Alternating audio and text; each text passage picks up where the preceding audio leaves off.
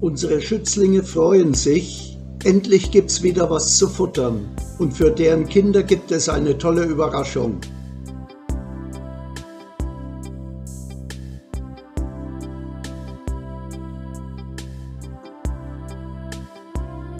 Die Eier werden schon am Donnerstag angeliefert und der Reis kommt dann am Freitag. Die Reissklaven haben diesmal Verstärkung Heute ist ein junger Hühner dabei, dem man auch zutrauen würde, zwei Säcke auf einmal zu tragen. Jedenfalls geht es ziemlich schnell mit dem Abladen und dem Stapeln.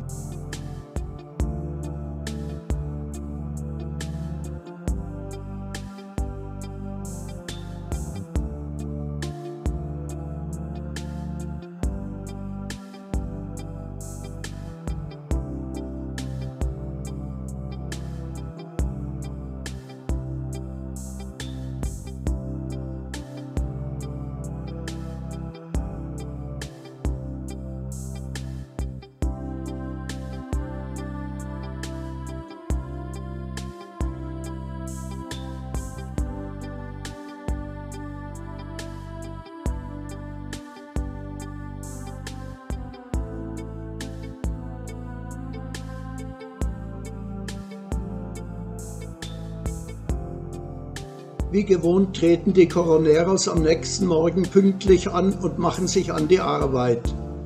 Mit Elan und Freude nach der langen Pause. Routiniert packen sie Reis und Eier für den Wochenbedarf der Hungrigen ein.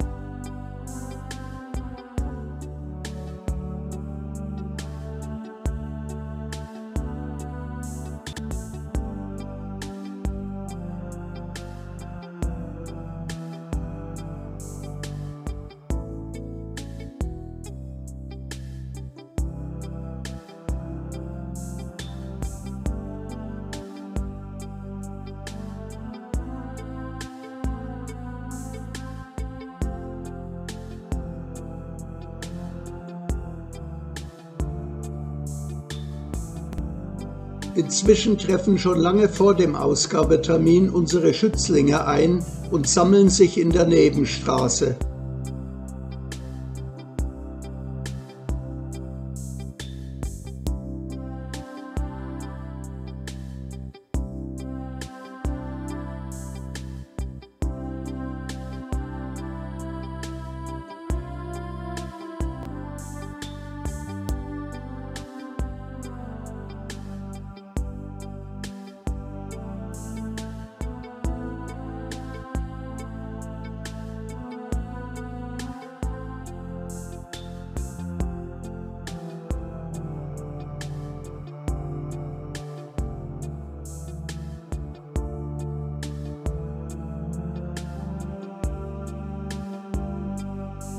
Das Corona-Karussell fängt an sich zu drehen.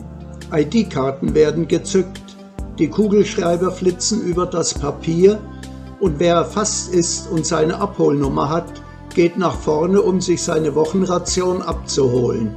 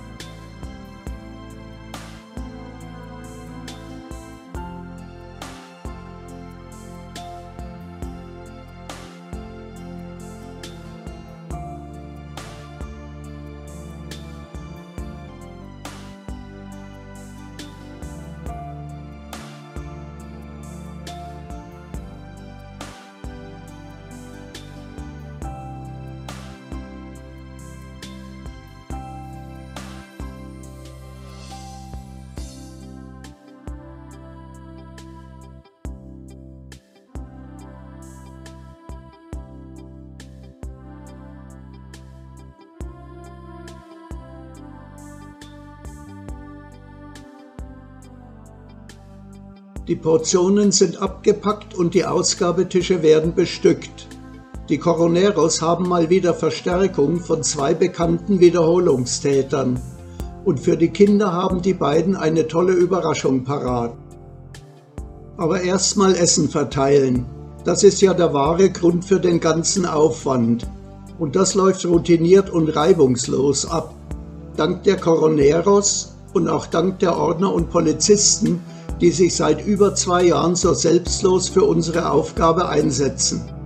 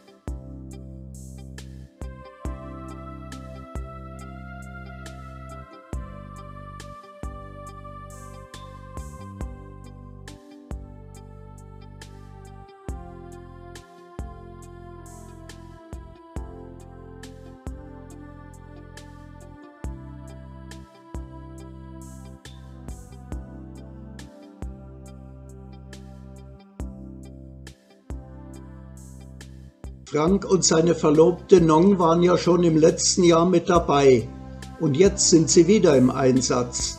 Die beiden haben jede Menge Kleidung und Spielzeug mitgebracht. Das haben Nongs Schwester und ihr Mann gespendet und dazu haben Nong und Frank noch drei große Tüten mit selbstgemachten Süßigkeiten für die Coroneros und die Bewohner des Nobelviertels mitgebracht.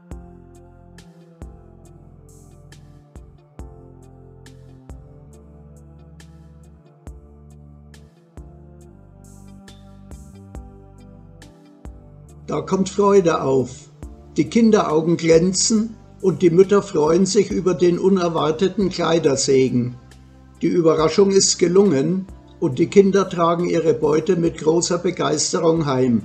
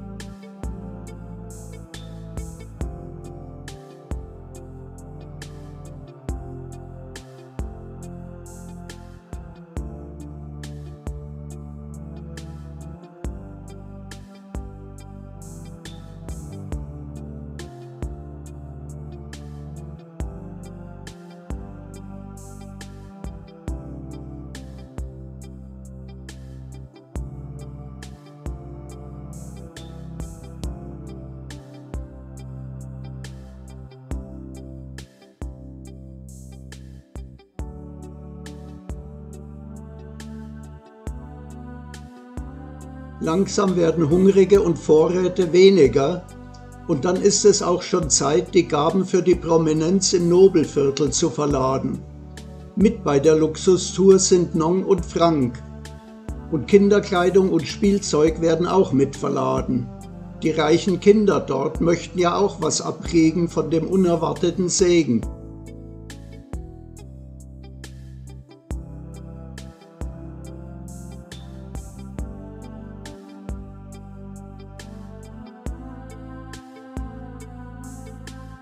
Die vormals obdachlose Mutter mit dem Kleinkind haben wir jetzt in einer einfachen Bleibe mit thailändischem Badezimmer untergebracht. In einem Viertel mit vielen Thai-Familien und Kindern. Keine reichen Leute, aber anständige.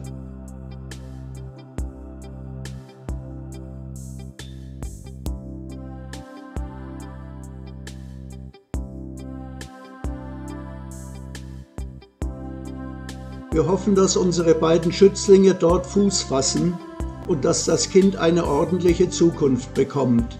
Der Säugling hat inzwischen seine Scheu vor dem Dino verloren und übt sich schon mal im Fingerziehen, bei dem er auch schon beinahe gewinnt.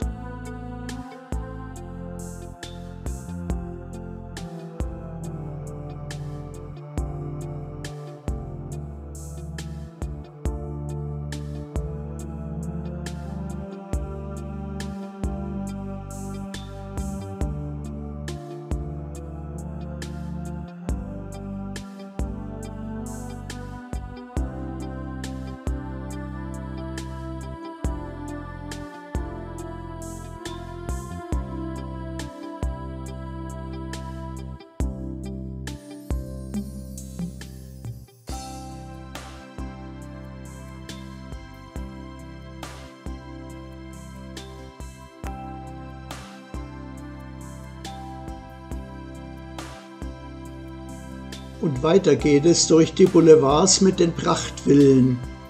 Wie immer freut man sich über das Erscheinen der Corona-Gang. Nongs Gaben werden auch verteilt und die Kinder fragen sich, ob Weihnachten dieses Jahr früher ist als gewöhnlich.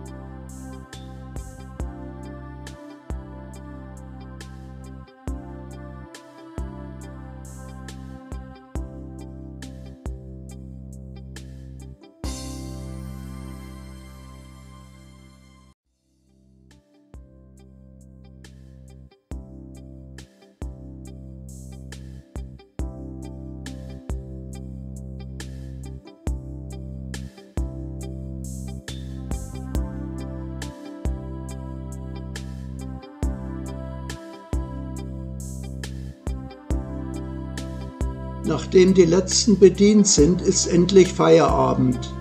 Die Selbstabholer kommen diesmal erst am nächsten Tag und werden dann aber versorgt wie gewohnt. Die Hungrigen und die Coroneros senden euch liebe Grüße und hoffen, ihr bleibt gesund.